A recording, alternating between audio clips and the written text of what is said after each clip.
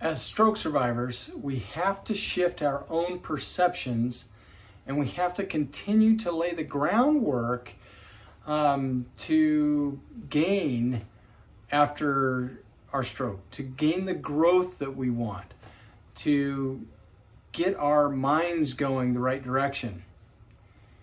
Be accountable to yourself. Seek out mentors. Seek out other people who can help you communities. Be kind to yourself.